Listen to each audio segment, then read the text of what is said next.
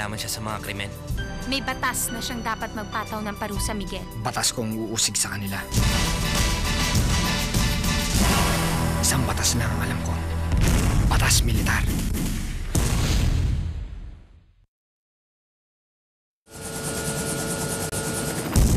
This is ridiculous! Pero malaking posibilidad na totoo, sir.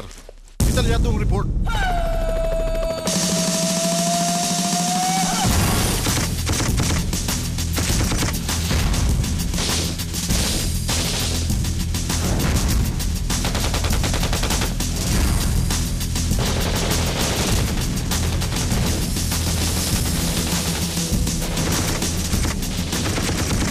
hindi sila magnanakaw, bakit kalaliman ng gabi nila gagawin? May nakilala ka ba?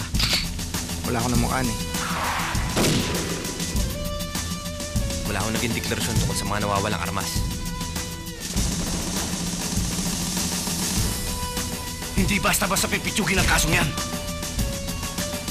May batas na siyang dapat magpataw ng parusa, Miguel. Pinatay nila ang kapatid mo, Miguel. May batas ba silang pinaniniwalaan? Naniniwala ka ba, Eric? Sa bintang na may kinalaman siya sa mga krimen. Katotohanan, Christine. Yun ang gusto kong tuklasin. Maski aminin ko sa'yo, salita ko pa rin ang paniniwalaan nila. Ang batas na sinasabi mo'y ginamit lang nila para pagtakpan ang kanilang kahayupan. Hindi na mangyayari yon. Dahil ngayon, batas ko ang uusig sa kanila.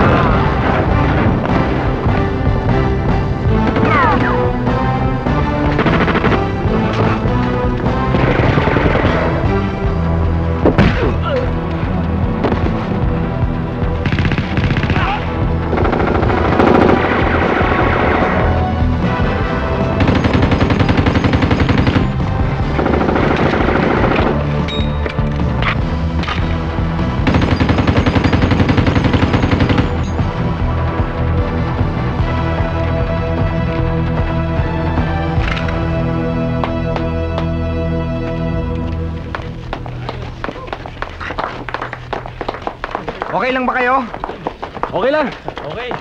Okay ka lang ba? Ayos lang. Pasensya na, napalakas yata tama ako sa'yo. Oo nga, sakit eh. Nako, halika na. Tawag na yata tayo, tara.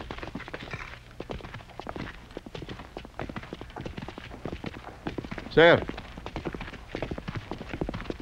Congratulations, Captain. You and your team are worthy to be in the Scout Rangers.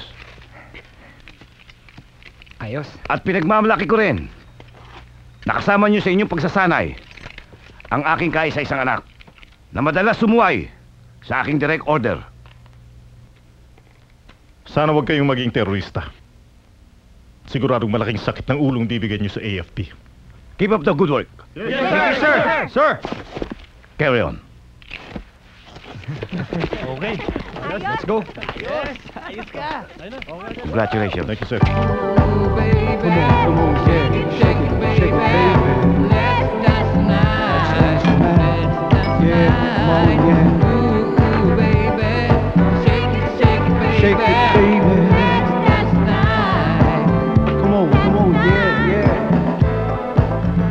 Marami kayong pinabilib sa isang buwang military exercises na ito. Lalo na sa mga higher-ups. At sa mga narinig kong papuri sa team nyo, lalong tumangos ang ilong ko bilang CEO nyo. Sir, dapat may premyo kami. Aba oo! Kaya bukas sa bukas, dadagdagan ko ang trabaho mo. Pero kidding aside, alam ko ang hirap na pinagdaanan nyo. Kaya naisip kong bigyan kayo ng one week furlough para maka-R&R kayo at makauwi sa inyong mga pamilya. Narinig niyo yun, batchmates? Isang linggong bakasyon! Yay! Miguel, take charge. Make sure magsisi-uwi ang mga ito ha. Yes, sir. O paano? Mauna na ako sa inyo. At mukhang mukhang abutin kayo ng sikat ng araw. Again, congratulations, men. Thank you, sir! Thank you! Sir!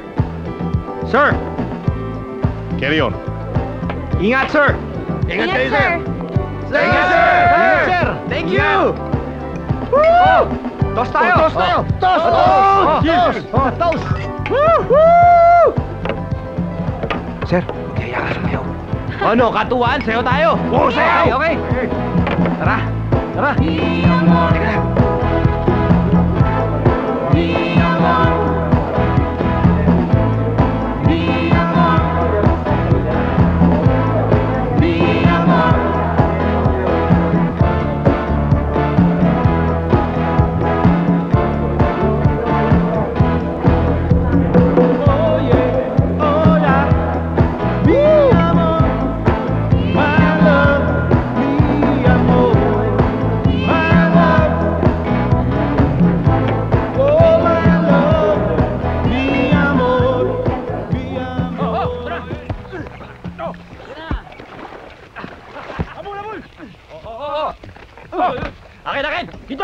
At! Okay, ha? Ayos eh!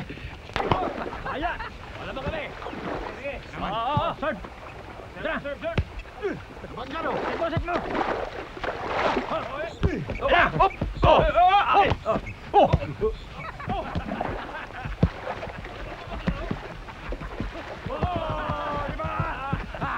Kala nyo ha! Ano ba, di ba?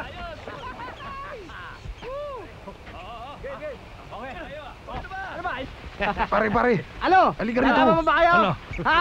Tignan mo yung chick, oh. Ang ganda. Oo nga, no? Pare, Kalaro yan. yata Simulan mo na, Pare, pare. Magaling ka sa chicks, eh. eh. Ano pang inaantay nyo? Ba't hindi pa kayo mag-swimming? Mamaya na, malamig pa. Miss, baka pwede ka sumali sa amin. Kulang kasi kami. Tsaka sa tingin ko, mukhang masarap kang kalaro, eh. Sensya na mga pre, may pinag-uusapan kami. Oh, eh di ba mas maganda kung mas marami tayo? Di ba, Tol? Oo nga naman! eh di kung ayaw nyo, eh di kahit siya na lang. Di ba, Tol? Oo. Sige, Christine, pagbigyan mo na itong mga to. Ayos! okay! Okay mo pala eh! Sandali lang to, mga pare. Ayos. Sandali lang. Magandang laban to! Uy!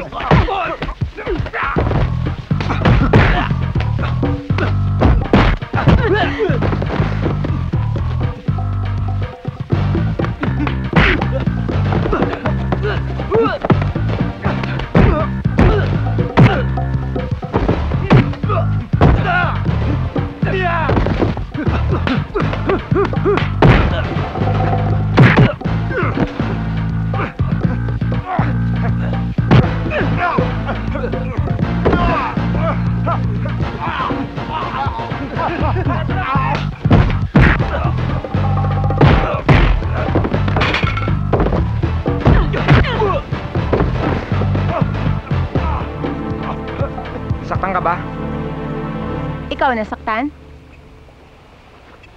Ikaw, Eric.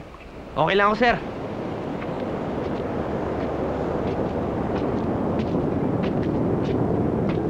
Ayaw mo ba talaga sumama? Next time na lang, Jimbo. Madami pa namang araw eh. Paano ko naman nakakasiguro? Eh, kung sa susunod na pagkikita natin eh mamatay na ako. Eh, di sa libing mo ako pupunta. Ikaw talaga. Bro, oh, kuya, kailan ka pa dito? Kadarating ko lang. Naalala ko yung sinabi mong uuwi ka ngayon, kaya dinaanan na kita. Ay kuya, siya nga pala, si Chris. Kaibigan ko, trainer rin. Ganun ba? Kapitan yan. Magandang hapon po, sir. ka talaga. Sige, ha? Ah, kailan pa ho ba umalis si inay? Mag-isang linggo na. Ewan ko nga ba doon. Basta naisipan niyang puntahan ng lola mo sa Quezon. Ito mga ito, hindi man na sinama ng nanay nila. Di ba nga ho exam namin, Lolo? Ikaw naman, Maxine, ba't di mo sinamahan si inay, ha? Gusto ko po si inay lang naman ang may ayaw eh. Paano? Makulit ka? Hindi naman kayo, kayo. halina kayo. Kumain na tayo. Kain tayo? Tama na po, inay. Pasensya na po kayo. Hindi na po ako nakapagpaalam sa inyo nung umalis ako eh. Akala niyo siguro, kung mo binibigay niyo sa akin ang pangangailangan ko dito sa bahay, eh wala na akong pakialam sa inyong dalawa. Akala niyo rin siguro, nakakatulog ako na mahimbing paggabi nang di nag-aalala sa inyo. Huwag na po kayong mag-alala, inay. Nag-iingat naman po kami. Bakit? Namimili ba ng tatamaan ng bala? Hindi ko nga lubos maisip kung bakit sa pagsusundalo na nga namatay ang tatay nyo. Yung pampinasok niyong dalawa. Buti pala ho, hindi sumama si Miguel. Hindi na pala sila magkikita ni inay. Sayang sana sumama si Kuya Miguel. Sigurado may dala na naman pasalubong yun. Oh, Oo nga pala, matagal nang hindi dumadalaw dito si Miguel ah. Kumusta na kaya ang batang yan? okay naman ho. Tingin ko tataas na naman ang rango eh. Matalino kasi at matapang. Ikaw lang eh. Kung hindi ka nagdalawang isip noon at sinabayan mo siya sa pagpasok sa PMA, sana kapitan ka na rin ngayon. Okay lang ho yun, Lo. Masaya naman po ako sa mabilis na pag-asenso na eh. Gusto niyo talagang mamatay ako ng maaga eh. Hindi naman po sa ganun, inay. Mahal na mahal naman po namin kayo eh. Gusto lang po naming matupad ang pangarap sa amin ni Itay. Di po ba kayo natutuwa nun? Paano naman ako matutuwa kung parati na lang nasa panganib ang buhay niyo? Kahit anong profesyon naman ho ang piliin namin, kapag oras na, wala rin ho naman kami magagawa eh. Hindi lang kaibigang matalik. Daig pa nila ang magkapatid. Sabay silang lumaki eh. Sabi nga ng mga nakakakilala sa kanila eh, magkakabit daw ang kanilang bituka. Kung nasaan yung isa, nandun din yung isa. Parang sinaitay din na tantatay ni Kuya Miguel. Sabi nga ng mga matatanda dito, minana lang daw ni na Kuya at Kuya Miguel ang pagkakaibigan ng mga ama. Paano nangyari yun, Lo? Nandito tayo sa Laguna. Pampanga naman sila Kuya Miguel. Taga dito sila dati. Pero umalis sila dito na madistino ang tatay nila sa Zambales. Sundalo rin ba yung tatay ni Kuya Miguel? Sa Philippine Navy. Ba, magaling na opisyal yun. Dapat nyo hong iwasan ng masyadong pag-aalala. Alam nyo naman hong makakasama sa inyo to eh. Huwag niyo na akong intindihin. Ayokong sumunod sa tatay niyo, no? Oh, tama na yan, Nay. Pakasan na naman mapunta usapan natin eh. Hmm, alika nga dito. Hmm. Ay, anak ko. Tama. Hindi ka ba nahihirapan sa training mo? Mahirap, kuya. Pero di ko na lang pinapansin. Total, ilang buwan na lang, tapos na training namin. Ang mahalaga, huwag mong hahayaang dungisan ng uniforme mo. Di lang uniforme, kuya. Alam ko naman ang hirap na pinagdaanan nyo ni Itay eh. Kaya nga nang matanggap ako sa training, pinangako ko sa sarili ko na balang araw, magiging katulad nyo rin ako. Sir! Carry on. Take seats.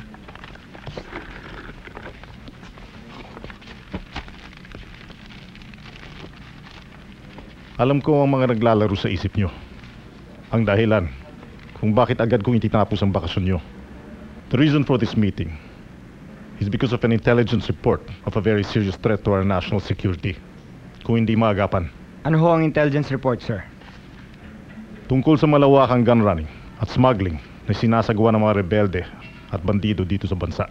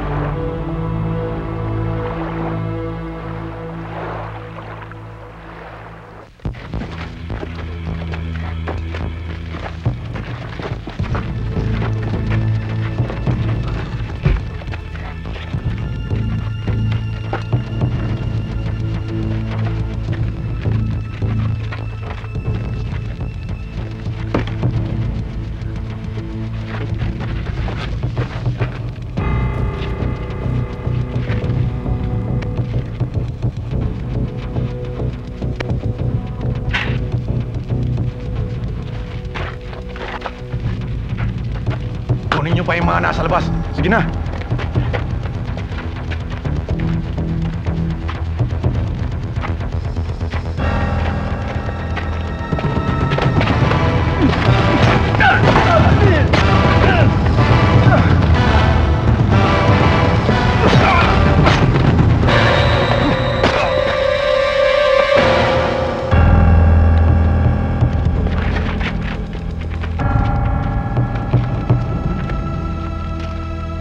Are you sure? Hindi rin ho kami makapaniwala nung una, sir. Nung makita ho namin ang inventory ng mga barel, napatunayan namin totoo. Military issue nga ho, ang lahat ng mga baril na nasamsam namin mula sa isla. Kanino kayo kumuha ng mga inventory? Sir, hindi ko kami nanghingi ng inventory. Nagpadukot kami ng file sa isang kaklase ni Miguel. Mukhang may katotohanan ho ang mga balita sa dyaryo, sir. Na may mga military officers na nagsusupply ng armas sa mga bandido para gamitin ito sa mga kidnappings at iba pang krimen. Kaya ho nag-iingat ako dahil sensitibo ho ang mga bagay na to. Malalagay ho sa alanganin ng integridad ng hukbo kapag nakalabas ito. Sir, nakakainala ho. Wala naging deklarasyon tungkol sa mga nawawalang armas. Kagaya din siguro nagdahilan ni Miguel. At maaari ding pinagtatakpan, sir. Maring tama kayo. Ang problema lang, may ebidensya man. Hindi natin alam kung sino ang mga sangkot dito. At hanggat hindi natutukoy kung sino ang mga nasa likod nito, hindi mapuputol ang anomalyang ito. May imumungkahi sana kami, sir. Kung papayag ho kayo. Ano ho kaya kung idestino nyo kami? Sa balwarte ng mga bandido. Baka makakuha kami ng karagdagang ebidensya.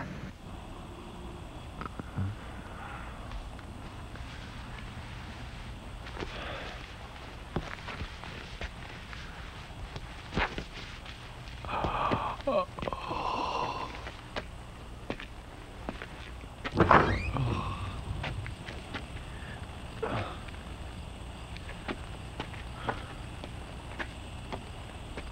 bilis. Bilisan nyo. Ilabutin mo. Oh. Sige, dito tulong ka. Meron pa ron. Bilisan nyo.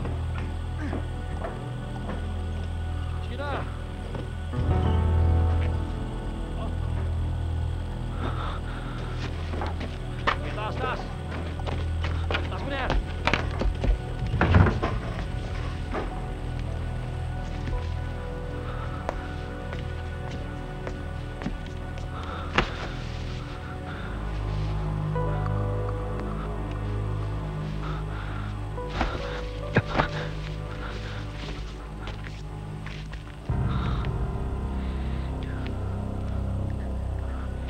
Sir, may nakita sa inyo. Saan ka galing?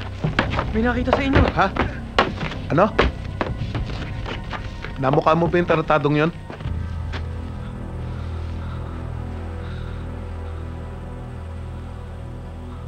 Oh, Jimbo. Saan ka nang galing?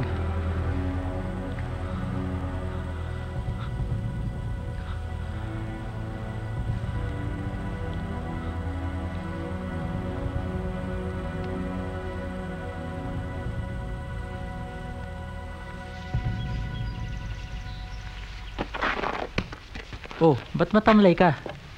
May sakit ka ba, Batch? Puyat ka. Napansin ko kagabi, di ka makatulog eh. May nakita ako kagabi, Batch. Anong ibig mo sabihin? Dali, dali! Dulis!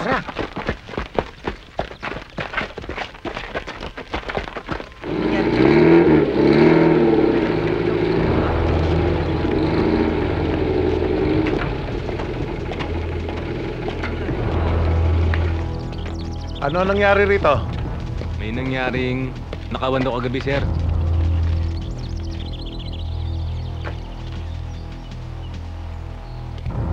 Sir, Ano? yan yung nakita kong training kagabi. Asan? Yung nasa kaliwa. Master.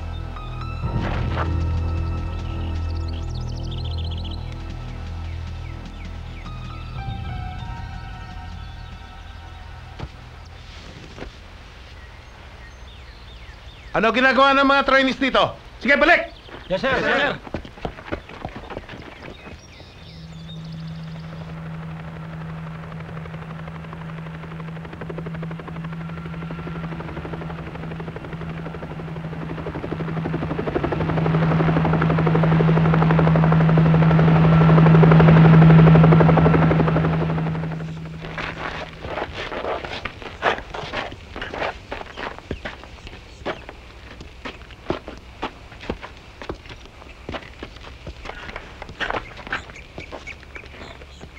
Magandang araw po! Magandang araw din ho!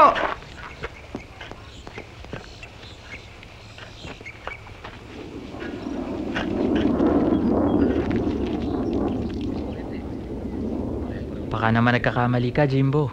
Hindi ako maaaring magkamali. Hindi mo ba narinig yung mga pinag-usapan ng mga kasama natin kanina? Tsaka isa pa, kung hindi sila magnanakaw, bakit kalaliman ng gabi nila gagawin yung mga pagkuha ng armas? May nakilala ka ba sa kanila? Wala ako ng mukaan eh. Pero tinitiyak ko, hindi sila mga sundalo. Anong ginagawa niyo dito? Kayong dalawa! Magpapahinga na ba kayo maghapon? Balik sa training! Yes, sir. Move! Yes, sir.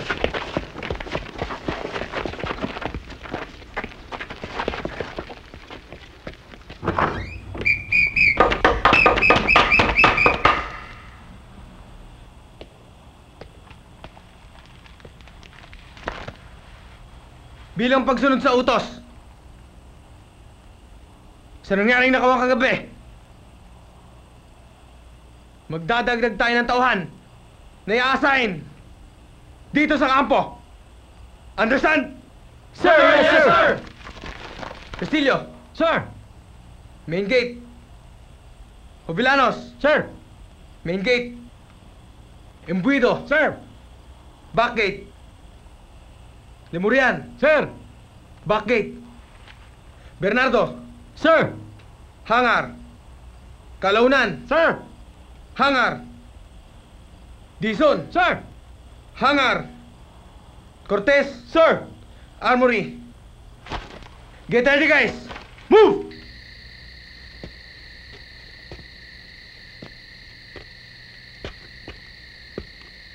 Bro, Oh. kape ka muna. Mukhang inaanto ka na eh.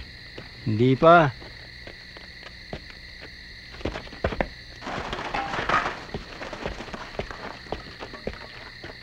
Balasya, mukha ka nang inaantok. Kuminong pa na kape. Pagati-atihan na kasi ang tinapay na yan, bago pa maubos ito. Pambihira kayo, ngayon lang ako kumain eh. Akin na nga yan, gutom na ako. O yung mga boses nyo, hinaan nyo, baka magising si Sir. Nga yan, gutom na ako. O yung mga boses nyo, hinaan nyo, baka magising si Sir.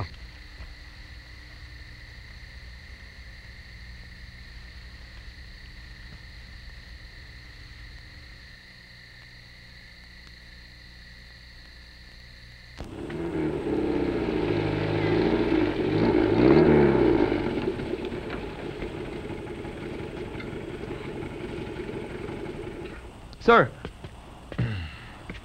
Carry on. Ah, kamusta naman dito? okay naman ho, sir. Ah, buksan mo. Gusto ko makita yung loob. Kanino ho galing authority, sir? Huwag ka na magtanong. Ako na bahala sa'yo, bata. Sige na, buksan mo na. Yes, sir!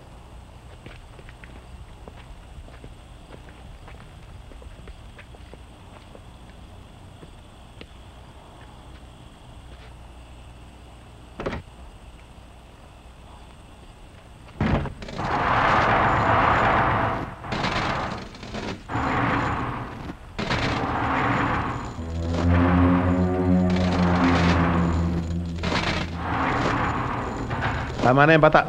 Samahan mo kami sa loob. Sige! Sir! Ano kasalanan ko, sir? Wala ka namang kasalanan eh. Kaya lang, nasa maling lugar ka sa maling pagkakataon. Pero, pero, kung magugustuhan ko maririnig ko, ililibre na kita. Ha? Wala akong kasalanan! Ah! Gagawin pa ako sinungaling! Wala akong nakita, sir! Mawa naman kayo! Sir! Wala akong kasalanan! Umamin ka na kasi! Mawa na kayo! Kawawa ka naman. Mawa na kayo, sir! Ganun pala eh. Simple lang naman ang katanungan namin.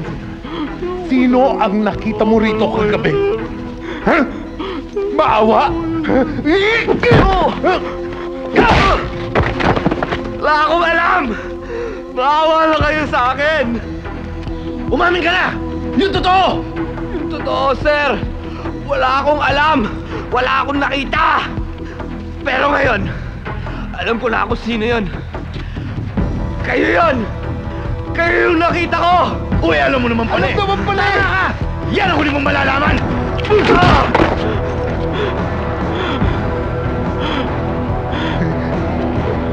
Oh, ano?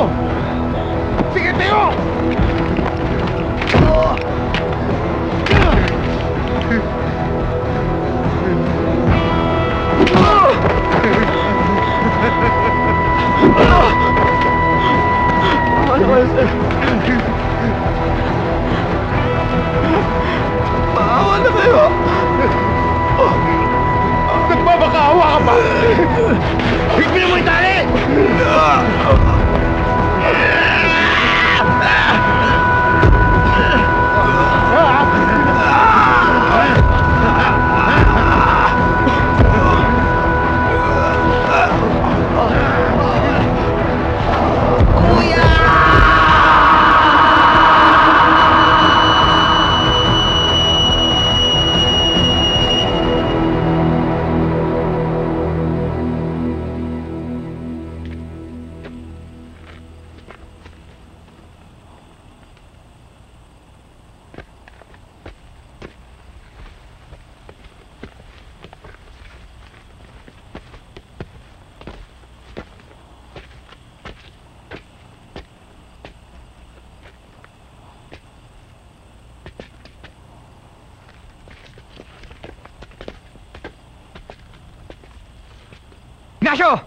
Sir!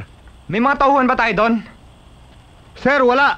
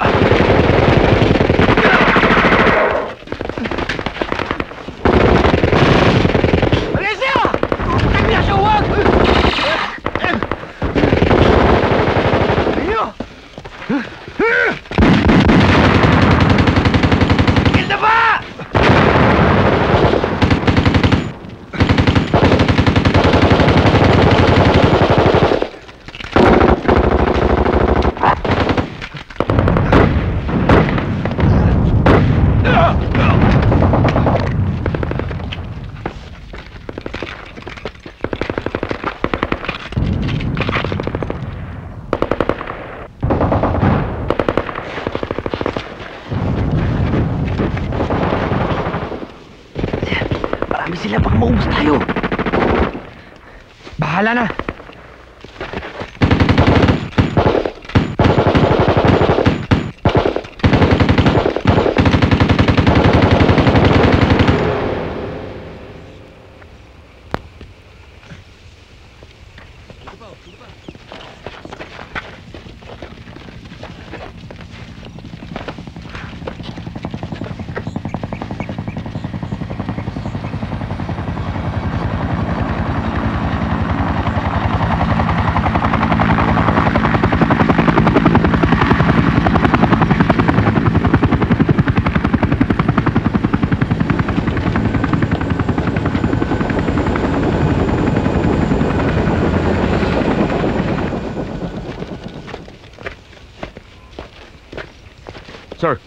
Carry on.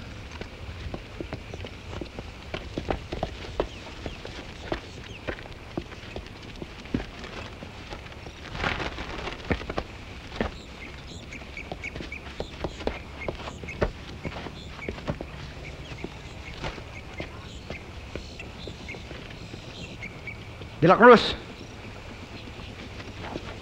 Take charge. Yes, sir. Ignacio, Adamos! Sir! Sumama kayo sa akin. Tayo na!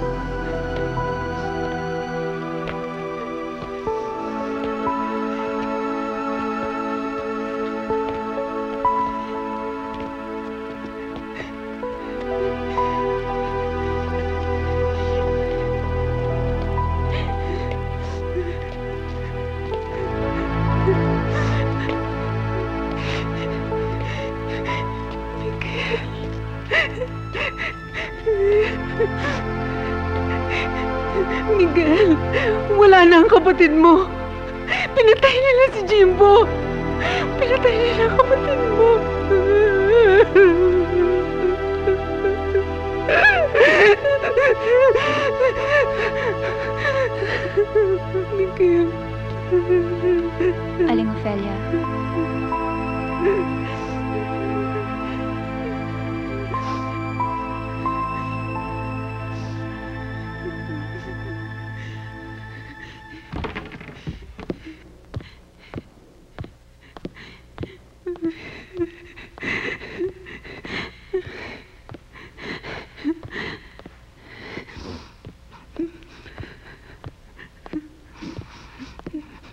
Ma'am, sa ngalan ng sa ngalan ng buong Air Force, tanggapin niyo po ang aming taus-pusong pakikiramay sa isang malungkot at di inasang pangyayari. Condolences.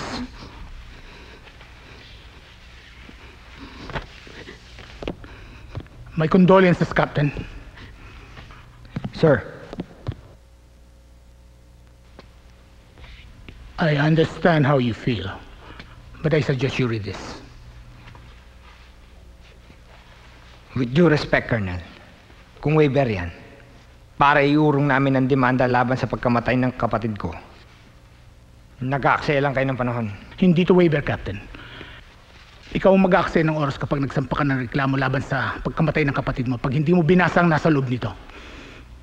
Anong ibig niyo sabihin? Nandito ang suicide letter ng kapatid mo na sinulat niya at natagpuan sa locker niya. Ilang oras bago siya natagpo ang nakabigti sa armory. Nagbigti? Why don't you read it? Nagbigti! Tingnan mo ang kapatid ko! Tingnan mo! Yan ba ang nagbigti?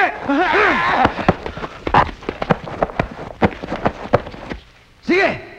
Bulutin nyo! At na magsama-sama na tayo! This will get you in trouble, Captain. You're causing trouble! Binastos mo, uniforme ko, Cortez! Miguel! Wala kang paggalang sa opisyal na mas Miguel! mataas sa'yo, Ramo! Marami ka ba sinasabi, Colonel? Sakang ko ang pupulutin! Halika! Alabi Court Martial Halika! Cortez! Tapusin na natin to! You won't get away with this! Tapusin na natin to! Aling Ophelia? Miguel! Aling Ophelia? Excuse me po.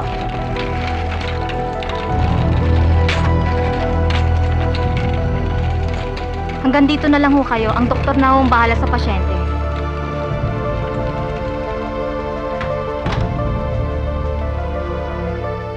Nurse, anong blood pressure niya? 185 over 110, doktor. Nurse, i-increase mo yung IV fluid niya.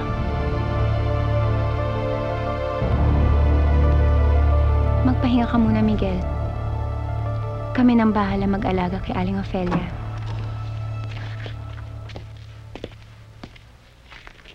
Sir. Nakikiramay po kami sa pagkamatay ng inyong kapatid. But we have orders to arrest you.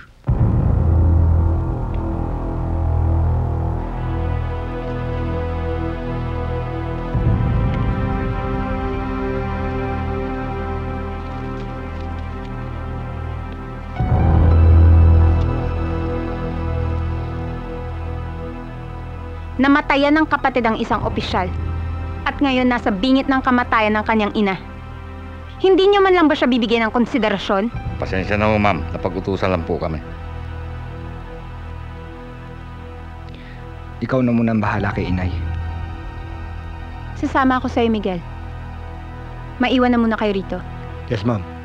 While we took into great consideration the grief and depression that you feel at the painful loss of your younger brother, who should have been a man in uniform like all of us here, if not of the unfortunate incident that took his life, we cannot find enough reason to justify your action against a superior officer in clear violation of the Articles of War of conduct unbecoming of an officer and a gentleman. This court-martial, therefore, finds you guilty of the charges and thereby recommends and orders that you, Captain Miguel Cortez, 0-12970 Infantry, Philippine Army, be dismissed from the service without honors accorded to officers and your name be taken out of the roster of officers.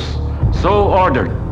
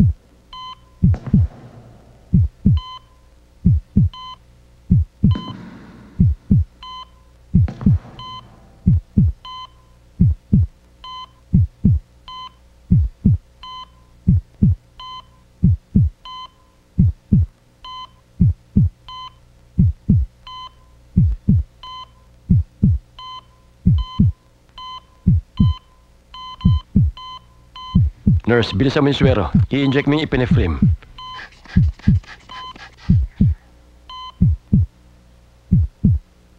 Nurse, defibrillator.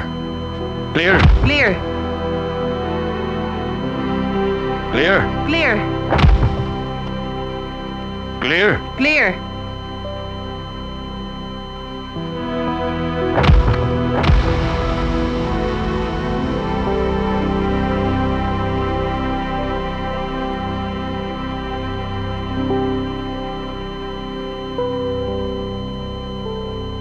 Sorry, doctor. Zero BP, zero pulse. There's nothing we can do. We lost our patient.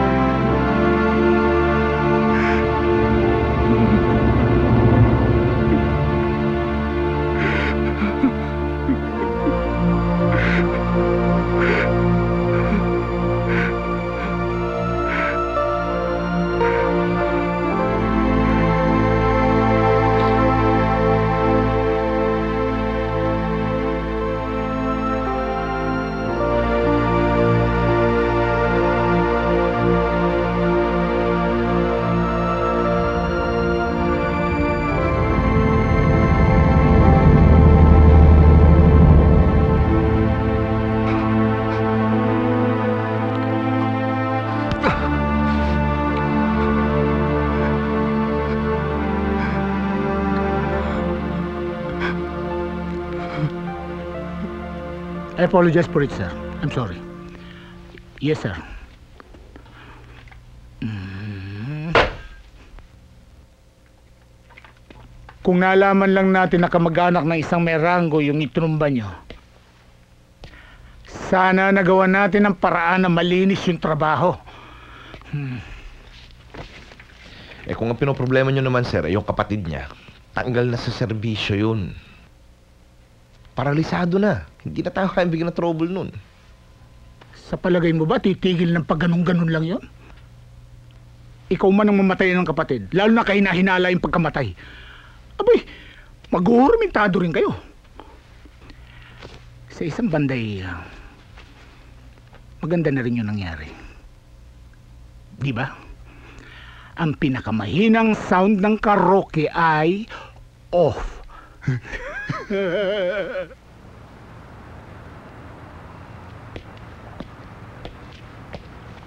Kamusta kayo dyan? Sir. Sir. Buti na lang at dumating kayo, sir. Ang hirap na walang ginagawa. Nakakabobo. Ah. Oh. Huwag na kayo magreklamo. May bago kayo assignment.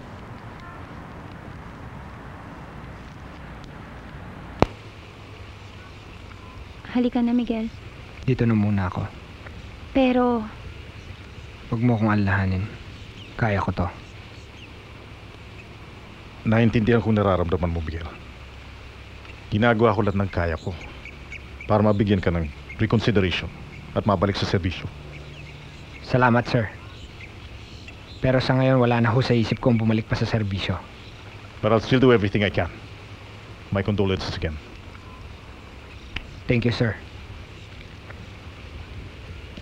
Sige.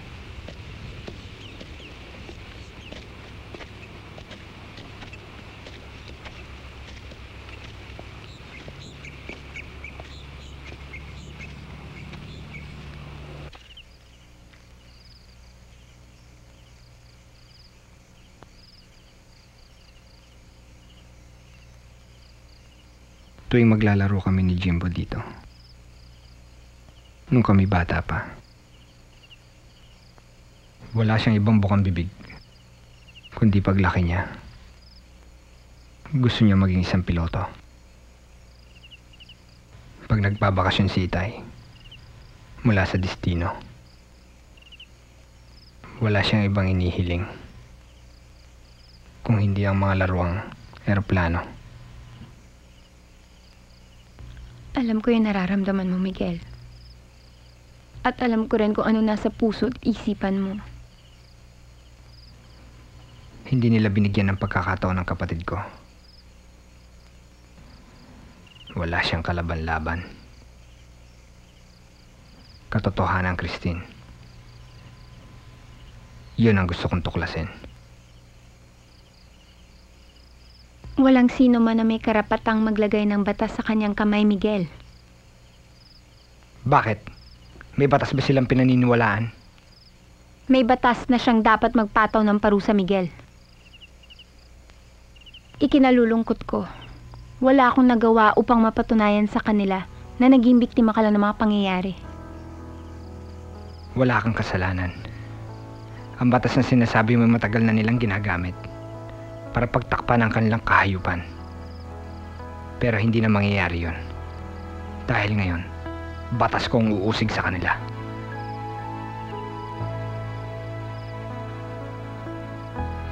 Nag-aalala ako para sa'yo, Miguel.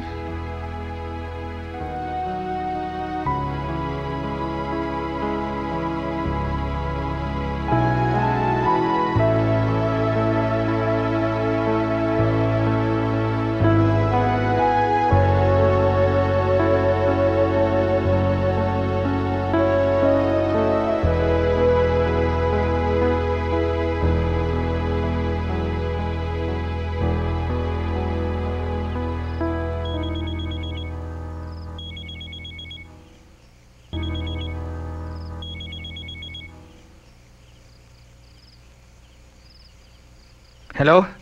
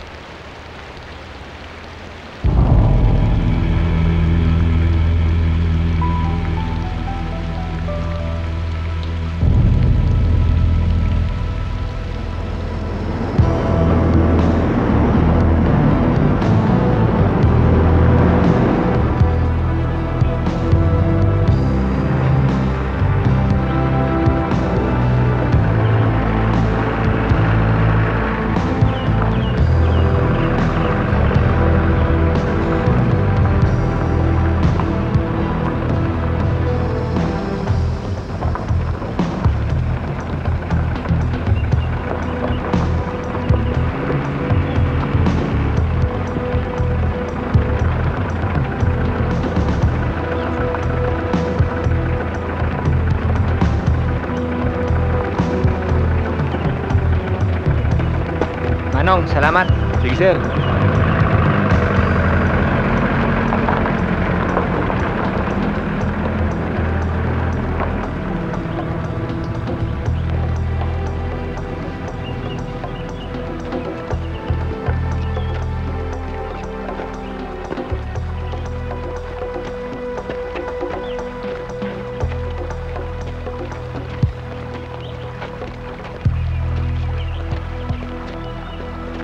Kanina pa ho namin kayo niintay, sir. Tay, siya si Miguel. Ang Ah, sino mang kaibigan ng aking anak na napupunta dito ay tinuturing namin kasama at binibigyan namin ng sapat na paggalak. Kalimutan mo muna ang nakapagitan sa ating dalawa at ituring mo kaisa ka namin. Salamat ho. Agad akong umalis at bumalik dito. Pagkamatay na pagkamatay ni Jimbo. Kundi ko yung ginawa. Malamang ako nang sinunod nila. Sino ang mga tinutukoy mo? Yung mga nasa likod ng pagkamatay niya. Pareho nating kilala si Jimbo, sir. Wala hong dahilan para magpakamatay siya gaya ng sinasabi nila. At wala rin ako makitang dahilan para patayin nila ang kapatid ko. Nakita niya nangyaring nakawan. Sino ang mga sinasabi mo? Wala hong nasabi sa akin si Jimbo. Pero maaring may nalalaman ng isa sa mga training officers namin na nag-assign kay Jimbo sa armory Nung gabi na sinasabi nilang nagpakamatay siya. Ito ang litrato ng mga training officers namin, sir.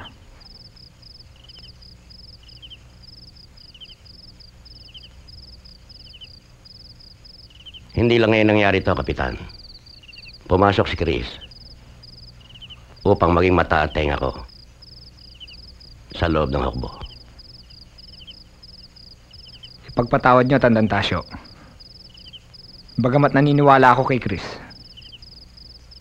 At iginagalang ko ang inyong mga prinsipyo. Hindi niyo pa rin maalis sa akin na mag-isip.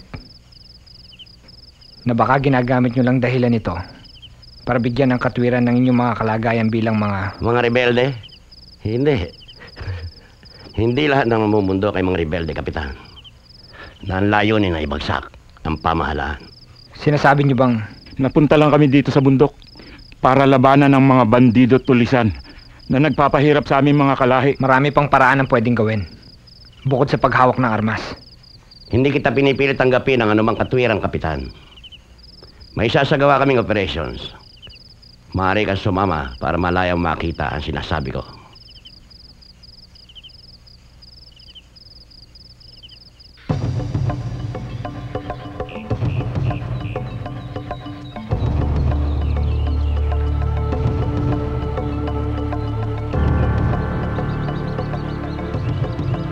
Sinasabi ko sa'yo. Mabuti pa maghiwalay tayo. Gamitin mo baril ko. Doon ka sa kanan. Dito ako. Sige na.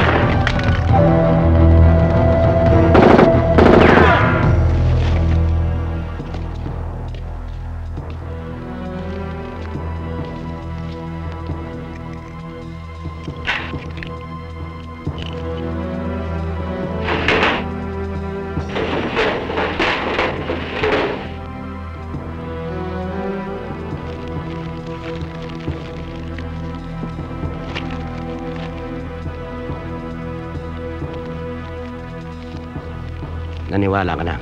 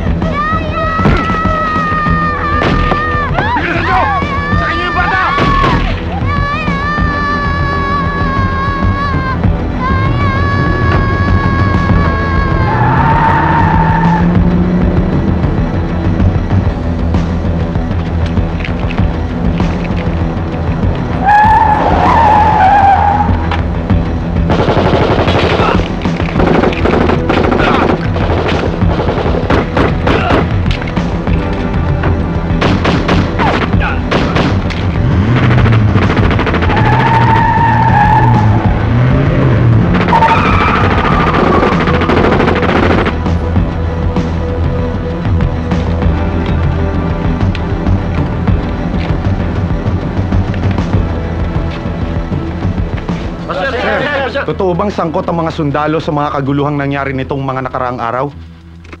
Ah, nakakalungkot maisipin at ah, nakakahiyang tanggapin.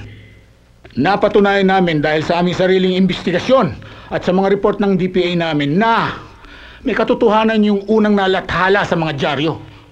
Sir, may aksyon na ba kayong sinagawa tungkol dito? Hindi makapapayag ang sandatahan lakas na madungisan ng kanyang dangal o di maparusahan ang dapat parusahan. Tulad ng pagkakadakip sa taong ito, nakasama sa grupong nasa likod ng krimen. Ito'y malinaw na pagpapatunay na may aksyong ginagawang militar. Sir, ah, magiging dahilan ho kaya ito upang ideklara ng Pangulo ang martial law? Hindi gagawin ng Pangulo yan eh. Una, hindi naman ito banta sa seguridad ng bansa eh. Pangalawa, alam kong malaki ang tiwala ng ating Pangulo sa ating ah, militar. Nakain lutasin ng ganitong klaseng problema. Internal lang to eh. Sir, ang tanong ko lang po ngayon, sa pagkakahuli po ng mga miyembro ng grupong sinasabi niyo po dito ngayon, tapos na po ba ang problema? No, not yet. Naniniwala akong matatapos lang ang problema ito pag ah, nadakip yung utak ko pinuno ng grupo. But I assure you, dahil sa pagkakakuha namin dito sa bata niyang ito, he's now a leader with less followers. Dahil may mga follow-up operations na kami dyan eh. Oh, magsalita ka. Si Captain Miguel Cortez po ang nag-recruit sa amin. Anong dahilan kung bakit kayo ni-recruit? Dahil po sa binabalak na kudeta, kailangan po namin ng malaking pondo para maisakatuparan at maisagawa ang pagpapalit ng bulok na sistema ng hukbo. Bakit kayo pumayag? Tinatakot po kami na kung hindi kami makiisa, idadamay nila ang aming mga pamilya. That is military adventurism. This government doesn't condole such acts. Any more uh, questions?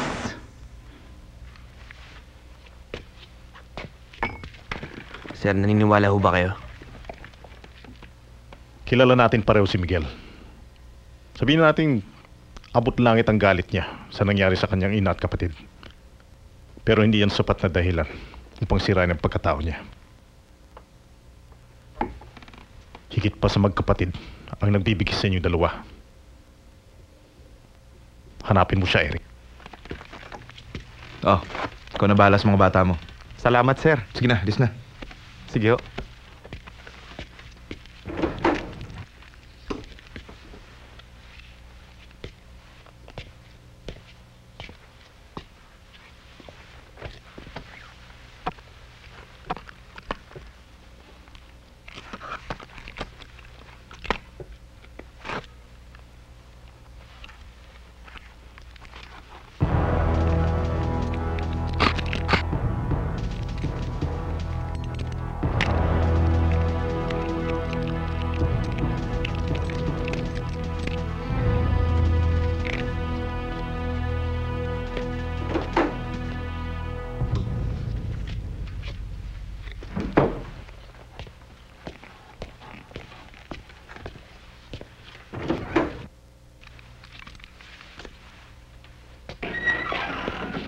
Sir, sir.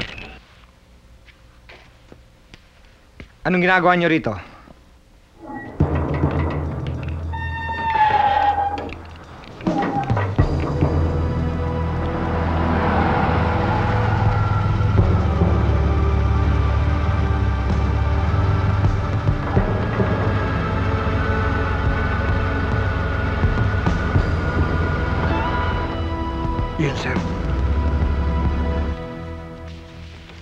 Ano na ang balita sa batang to?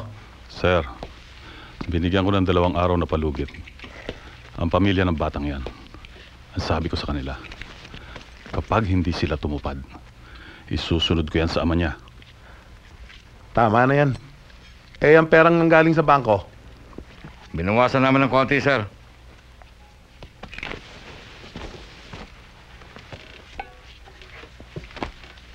Hmm. Bahala na kayo. Thank you, sir.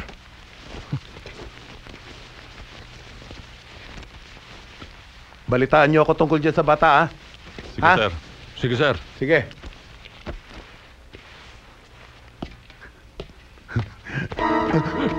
Miguel!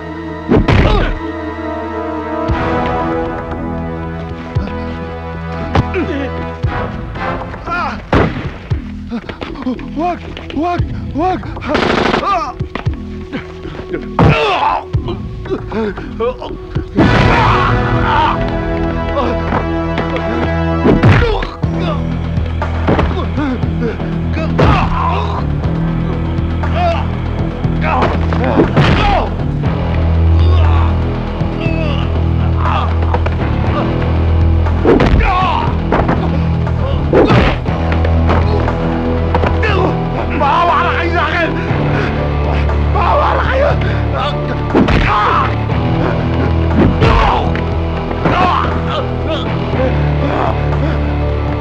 Tama na kayo! Tama! Kung may kukwento mo sa akin, ang totoong nangyari sa kapatid ko, baka pakinggan mo pa ang pakiusap mo. Oo, oh, wala. Wala akong kinalaman sa pagkamatay ng kapatid mo. Wala. Ah! ah! Suntalo ka rin. Ano mo, ano mo, ano mo sumusunod lang tayo sa nakakataas sa atin. Pwede sa inutos! Hindi dapat sundin ang hindi makatarungan. At taliwas sa sinumpaan natin. Ngayon, sinong nagutos sa inyong patayin ng kapatid ko? Sino? Mama, huwag ka patay. Si, Carrero Ortega! Si Carrero Ortega! Siya nagutos sa amin patayin ang kapatid mo. Bawa kayo sa akin! Huwag ka patayin! Bawa kayo sa akin! Ah, Bawa ka sa akin! Sa akin! Huwag ka patayin! Huwag ka patayin! Handa ka pala ito sa Isang batas na ang alam ko. Batas militar.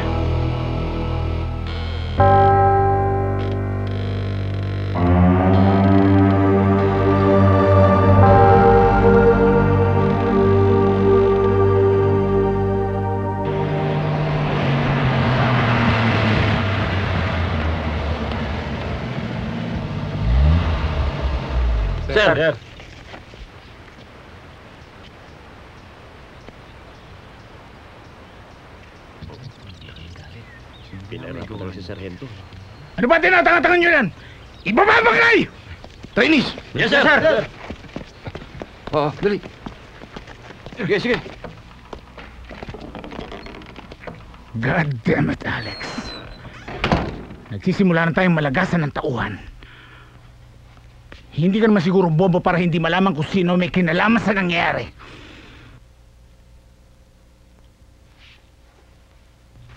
So why don't you do something? Move your ass! Alamin mo kung nasaan si Cortez. I don't want any stone left unturned. Baliktarin mo ang Pilipinas kung kinakailangan. But I want that son of a bitch dead! Naintindihan mo? Sir. Yes, sir. Get out of here. Get out of here! Naniniwala ka ba, Eric? Sa bintang na may kinalaman sa mga krimen? Hindi. Pero sa pagpatay sa opisyal sa Air Force, oo. Alam mo, Jack, na may mabigat na dahilan si Miguel. Kung totoo man ang mga hinala mo. Kung gaano kabigat man yun, at kung totoo ang hinala ko, meron pa rin siyang dapat panagutan, Christine. Ano ngayon ang balak mo? Pinakamatali ko siyang kaibigan, Christine. Sa kabila ng lahat na nangyari. Kailangan bigyang halaga pa rin niya ang pinagsamahan namin. Paano kung hindi? Christine, alam ko, alam mo kung saan siya nagtatago. Kaya tulungan mo ako, kailangan ko siya makausap. Sasama ako. Hindi pwede. Delikado tong lakad na to. Basta pagtiwalaan mo na lang ako.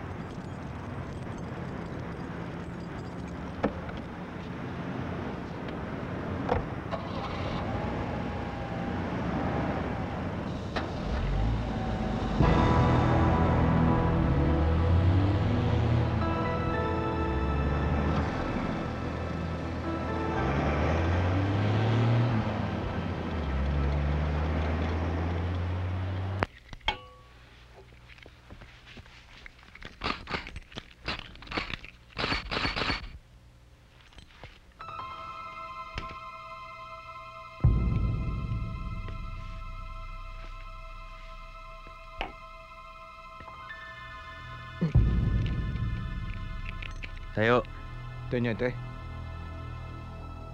Kailan pa ba namang tutukan ng isang tauhan? Tayo!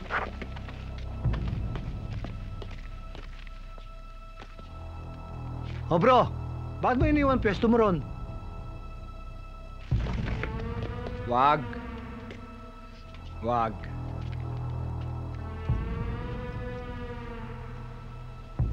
Iba na rin ba ang paniniwala mo ngayon, Eric? Depende yan. Sa magiging sagot mo sa mga tanong ko.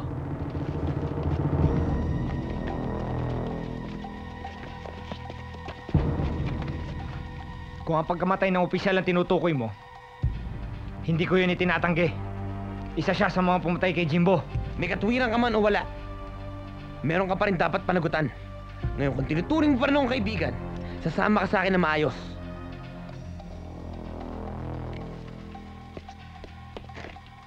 Pag nakita nyo si Cortez, banatan nyo agad. Huwag nyo bibigyan ng pagkakataon.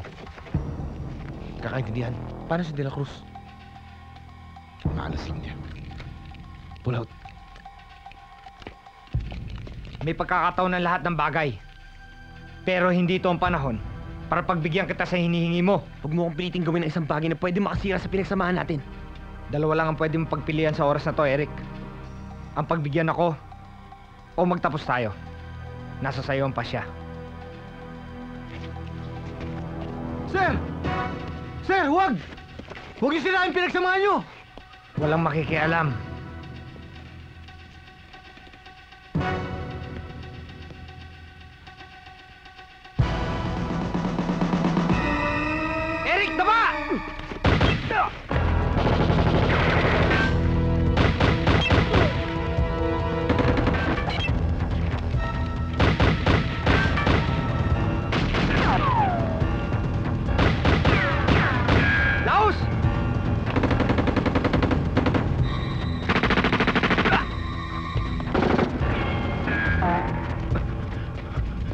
Batch! Batch! Baril!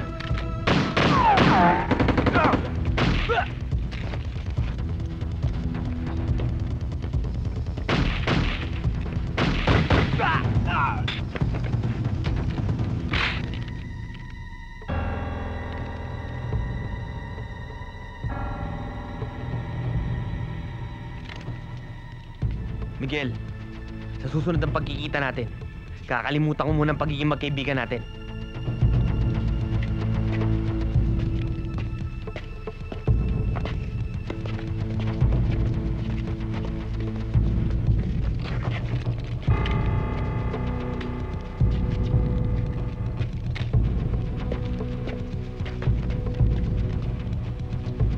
Good afternoon. Good afternoon, sir. Good afternoon, sir. Sir, ano ho bang development sa nangyaring pagkamatay ng isa ninyong opisyal? Ayon sa aming investigasyon, ang pumatay sa aming opisyal at ang utak sa mga nangyayaring krimen itong mga nakaraang araw ay isa. Si Miguel Cortez. Sir, ano sa palagay niyong motibo? Paghihiganti. Kung natatandaan mo, ang Miguel Cortez na ito ay kapatid ng isang Air Force trainee na nagpakamatay noon. At itong kapitan na ito, natanggal din sa serbisyo ito noon dahil sa ginawang pagbabanta sa buhay ko. So, malinaw, walang ibang motibo itong kriminal na ito kundi magiganti at ang kanyang makasariling kasiyahan. Ano na naman yung napabalita na ilang sundalo na naman ang napatay ng grupo ni Cortez? Totoo ho ba to, sir? Nakatanggap kami ng intelligence report tungkol sa pinagtataguan ni Miguel Cortez. Ako na mismo kasamang ilang tauhan ko ang nagpunta para kausapin at kumbinsin siya. Sa kasamaang palad, natiktikan kami ng grupo ni Cortez. Hindi na kami binigyan ng pagkakataong sabihin pa kung ano ang sadya namin. Ang masakit, patraidor na pinatay lahat ng tauhan ko. Hindi pa man kami nakakababa ng aming mga sasakyan. Pinaulanan na kami ng putok. Thank you po.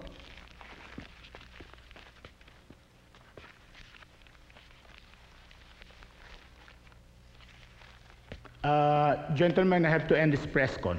May atinan pa akong command conference. Thank you. I already issued a nationwide manhunt and a shoot-to-kill order for that criminal.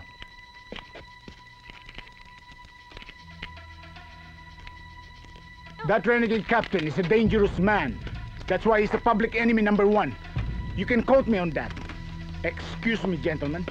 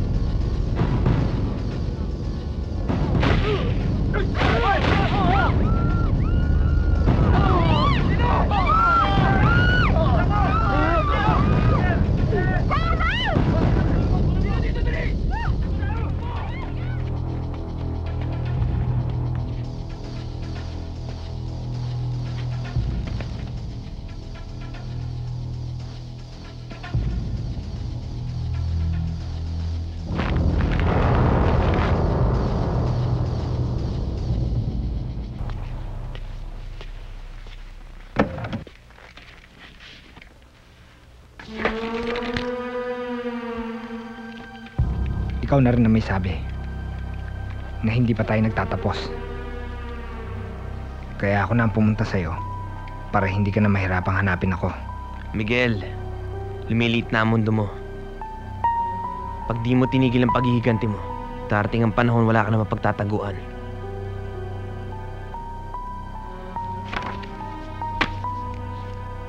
Sana makatulong ang mga dokumentong yan para maintindihan mo ko. Dadaling ko yan kay Colonel Mendez.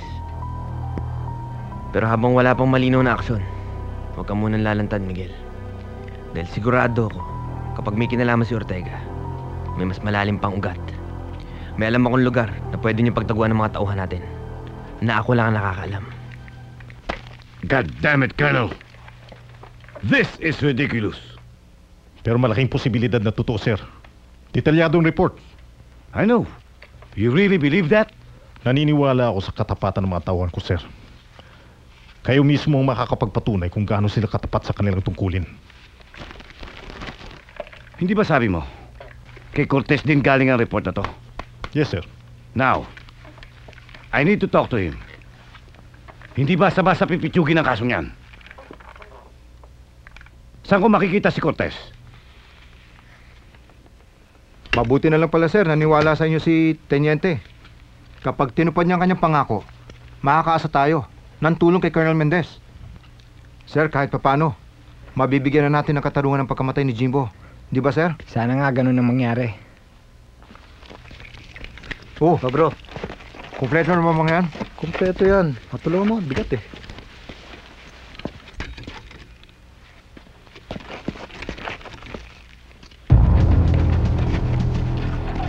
Sir! Sir! May mga sundalong dumarating. Baka yun na yung pinadala ng Colonel Mendez.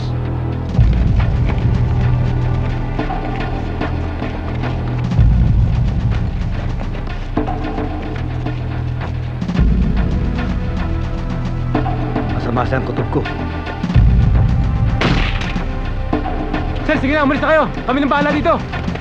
Go, go, go, go, go, go, go!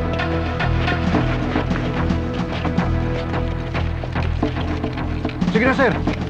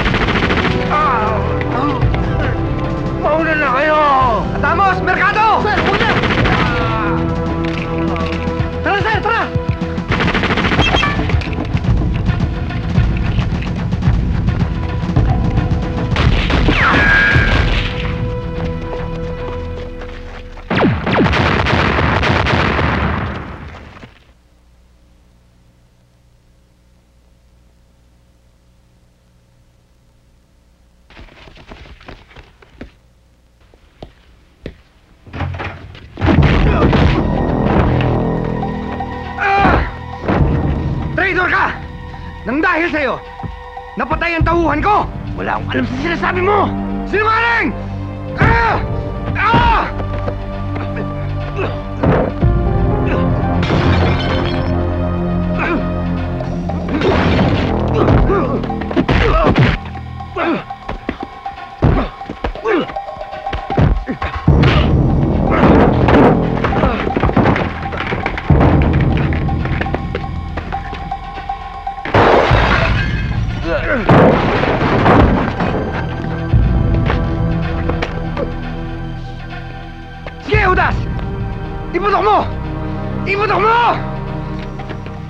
Pag binigyan mo ako ng pagkakataon, isusunod kita sa mga tauhan ko yung pinapatay mo! Iputok mo! Kung totoo ang sinasabi mo, dapat noon pa man, ginawa ko na yun. Katulad mo, binibigyan halaga ko rin ng buhay ng mga tauhan ko. Di mo man na itatanong. Di mo na kailangan sabihin. Pero kilala ko ang taong namuno sa pagsalaki sa grupo mo. Siya lang ang taong pinagsabihan ko kung saan kayo nagtatago. Dahil napaniwala niya ako na kailangan kanya makausap para mabigyan linaw ang tungkol sa ginawa mong report. Si General Castro.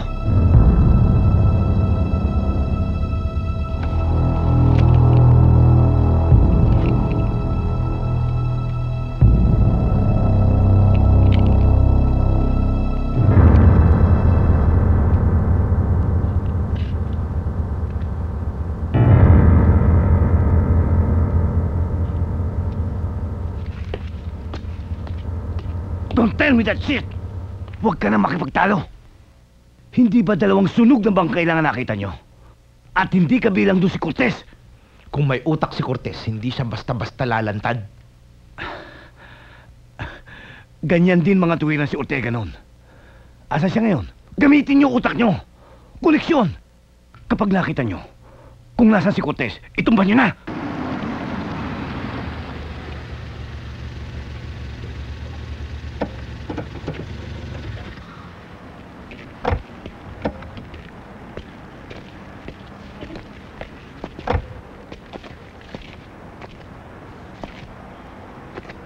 Mauna ka na. Yes, ma'am.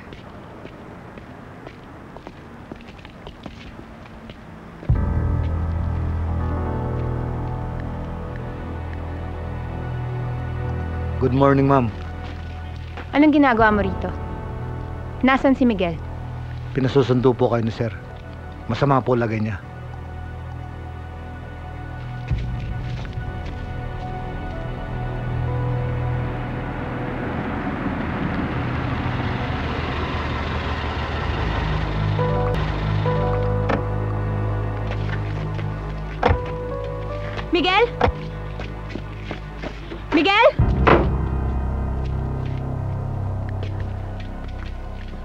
Ibig sabihin nito, Miguel? May intindihan mo rin ako kung bakit ko ginawa ito. Pero sa ngayon, hindi mo na kita pwedeng paalisin dito. Kriminal ka nga talaga. Wala ka nang kinikilala. Samahan niyo siya sa nakahandang kwarto.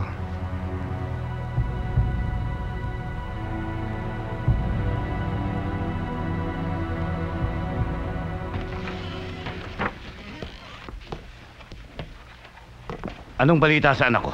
Nakita ko hong sumama si Ma'am Christine sa isang lalaki kaninang umaga. Lalaki? Nakilala niyo ba? Ah, hindi ho, sir. Hello? Christine, anak, nasan ka? Huwag kang magalala, General. Ligtas ang anak mo. Sino to? Nasaan ang anak ko? Si Miguel Cortez ito. Cortez! Huwag na huwag mong gagalawin ang anak ko! Papatayin kita! Isa lang ang kailangan ko. Kapalit ng buhay ng anak mo, General. Dahil alam kong ikaw ang nasa likod ng mga kabulukang nangyayari sa hukbo. Sige, kung kaya mong gawin yon, kapalit ng buhay ng anak mo. Nasa sa'yo yun. Cortez! Kriminal ang tingin sa'yo ng batas.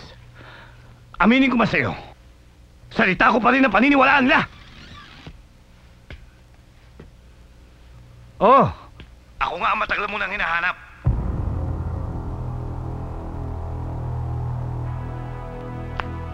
Makakaalis ka na.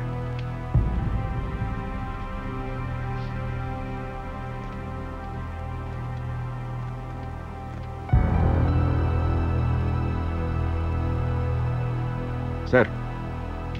Arrest order mula kay General Castro, sir.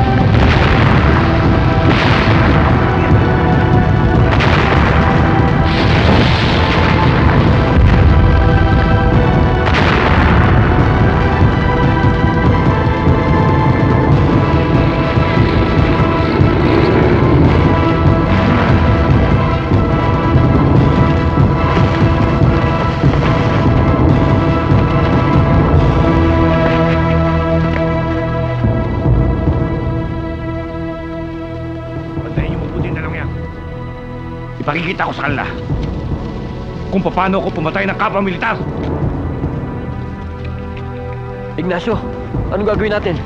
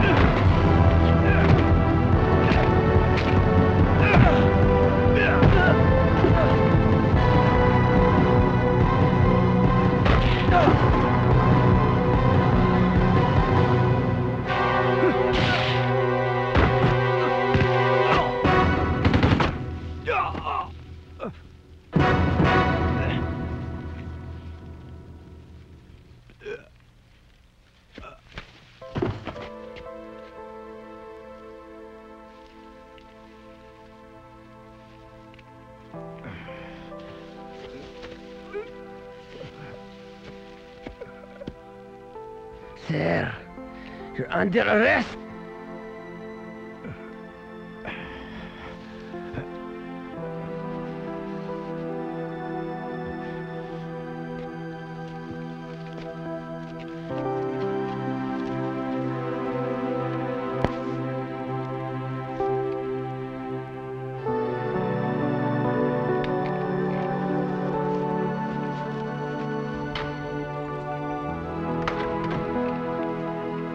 Pagkatapos ng mahusay at masusing pag-aaral, sa mga ebidensyang isinumite sa panig ng taga-usig at depensa, at magamat ang unang motibo ng nasa sakdal na si Miguel Cortez ay paghiganti para sa kanyang mahal sa buhay, ngunit nang lumaon ay nagpakita siya ng higit pa sa pansariling kapakanan na nagdulot ng katiwasayan sa lipunan at seguridad ng bayan.